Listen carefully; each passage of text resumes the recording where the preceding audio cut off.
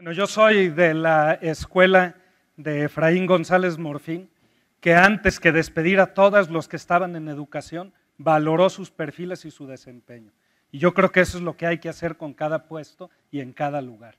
Valorar los perfiles y los desempeños de cada persona, porque cada uno de ellos merece ser considerado para permanecer en el trabajo que ocupa.